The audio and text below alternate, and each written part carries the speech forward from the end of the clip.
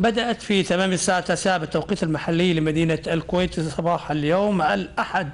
عملية التصويت للمصريين في الخارج بدولة الكويت بالمقر الانتخابي بأرض المعارض لليوم الثالث والأخير.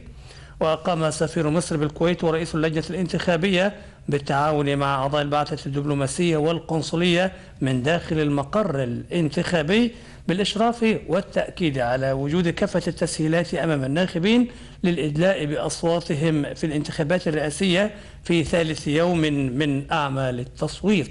إليكم متابعة الزميلة مروة رضا من الكويت.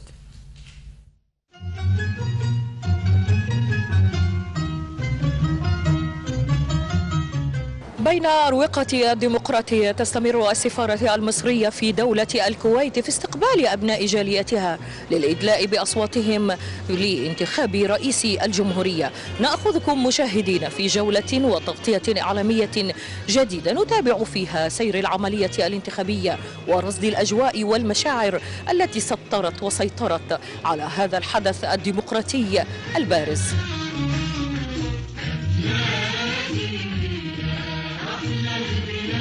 وأنا سعيد جدا بالملحمة الوطنية اللي بيقودها الشعب المصري والمقيمين في دولة الكويت.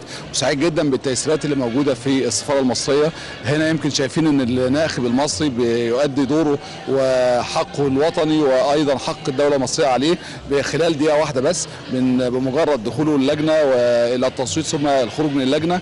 لكن المشهد الأعظم هو الالتفاف ودعم الدولة المصرية المتمثل في الحشود الكبيرة اللي موجودة من الجالية المصرية في الكويت. دايما المصريين في الخارج بنعتبرهم سفراء حقيقيين لمصر. دايما هم خط الدفاع الأول عن الدولة المصرية خاصة في المواقف اللي بتحتاج الدولة المصرية فيها دعم زي كل استحقاق رئاسي. يمكن إحنا هنا من 2012 بنشاهد الملاحم الوطنية اللي بياخدها الجالية المصرية أو بتاخدها الجالية المصرية في الكويت. في كل استحقاق دستوري موجودين في مقدمة الصفوف في كل استحقاق دستوري هم بيكونوا الشرارة الأولى لتحفيز الشعب المصري في الداخل للخروج بكثافة في الانتخابات. آه هذا المشهد يؤكد مكانة الدولة المصرية ويؤكد رقي المواطن المصري والجالية المصرية في الكويت. فكل الشكر والتقدير لكل عضو من أعضاء الجالية وكل قيادة من الجالية ساهمت في هذه الحشود الانتخابية المحترمة. وأيضا الشكر والتقدير للسفارة المصرية في الكويت السيد السفير والقنصل العام والعاملين في السفارة على التسهيلات اللي بيقدموها للمواطن المصري اللي بيمارس حقه الدستوري وحقه الانتخابي في الاستحقاق الرئاسي أو الاستحقاق الدستوري المهم والانتخابات الرئاسية.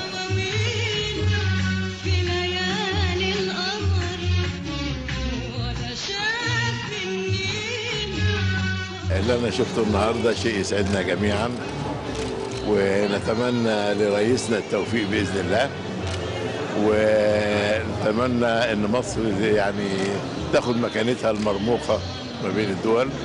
آه وإن شاء الله كل أزمة لها حل وكل صعوبة لها نهاية. ودايما الصعوبات بتنتهي بأفراح وانتصارات. إن شاء الله نكون منتصرين دايما.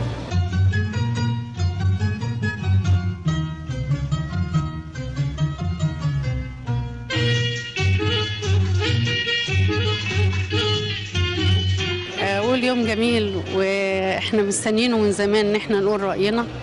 وربنا يوفقه. ومهما قلنا مش هنقدر نكافئه على الكلام أو الحاجات اللي عملها لنا. وطبعا الناس كلها حساها ومحسوسة جامد إن خلى المصريين دلوقتي في أي مكان ليهم وضع. والأول ما كناش كده. يعني الناس اللي جت قبله ولا عملت حاجة بالنسبة اللي هو عملهم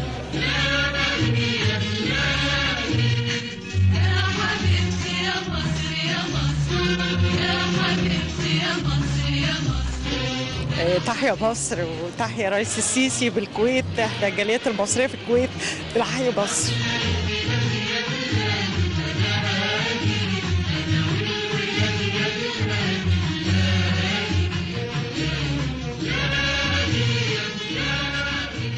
أرجو من الجميع الوعي والإدراك لهذه المرحلة الصعبة التي تمر بها البلاد السيد الرئيس عبد الفتاح السيسي آه، أنقذ مصر من دمار آه، كان محقق على كل الدول العربية ولكن سبحان الله وجود السيد الرئيس عبد الفتاح السيسي خلى مصر إن شاء الله بإذن الله في هتكون في مصافي الدول.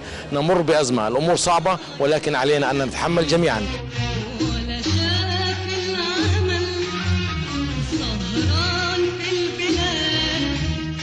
أنا النهارده بالنسبة إن أنا جاي أنتخب السيسي ده يوم عيد. لأن أنا ده أحسن رئيس مسك مصر من ساعة ما أنا اتولدت. فبندعي له إن ربنا يوفقه ويكمل اللي هو بدا يا مصر تحيا مصر تحيا.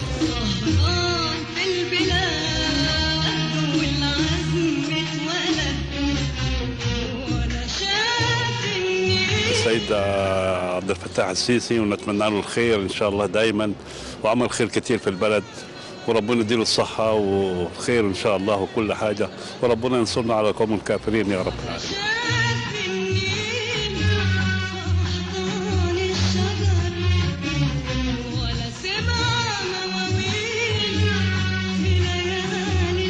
أدعو لسيادة الرئيس ربنا يطول في عمره ويعينه على التحديات والظروف الصعبة اللي بتواجه مصر والمسؤولية كبيرة جدا.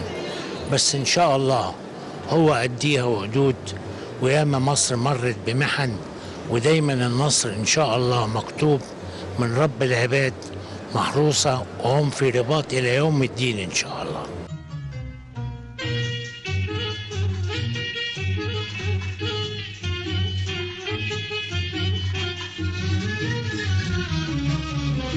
كل واحد مصري لازم يكون في اليوم ده إحساسه أكبر مما يتخيل يعني. إحساس كبير جدا لأن إحنا النهارده بنأدي دورنا في سبيل بلدنا ونقول نثبت للعالم إن الشعب المصري قادر على إنه يعمل آه، استحقاقاته بشكل منظم ومحترم وبيقدم صورة للعالم كله في الانتخابات الرئاسية. طبعا إحنا النهارده جينا مخصوص عشان نأيد الرئيس السيسي لأنه مش مجرد شخص إن إحنا هنأيده نموذج إحنا شفنا فيه نجاحات متعددة على مدار السنوات اللي فاتت. وده كان لازم يجبرنا أنا وغيري على إن إحنا نيجي نأدي دورنا. ونقدم الصورة الجميلة دي للناس ونقول لهم الشخصية دي هي اللي إحنا عاوزينها وتستمر. ربنا يديله الصحة.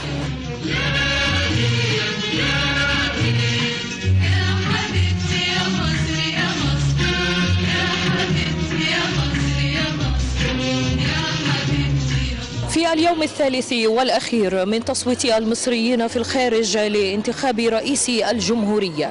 يسدل الستار على هذا الفصل من تاريخ مصر المهم. وأظهرت الجالية المصرية في دولة الكويت إصرارا لا يلين ومشاركة فعالة وناجحة في مسيرة انتخاب رئيس الجمهورية. وما بين قلوب متحمسة وصناديق الانتخاب عبر المصريون في الخارج بصوت حر وبصمة قوية على صفحة جديدة تسطرها ديمقراطية بحروف مستدامة. مروى رضا قناة طيبة تلفزيون المصري من دولة الكويت.